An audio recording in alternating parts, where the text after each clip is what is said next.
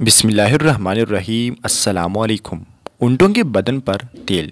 सैदना हज़रत उमर फ़ारूक रज़ी अल्लाह एक मरतबा सदक़े की ऊँटों के बदन पर कितरान एक किस्म का तेल ही मिल रहे थे। एक शख्स ने अर्ज़ की, हज़रत यह काम किसी ग़ुलाम से करवा रहे थे उन्होंने जवाब दिया, कि मुझसे बढ़कर कोई ग़ुलाम हो सकता है जो मुसलमानों का हुक्मरान है तो वो इनका ग़ुलाम है।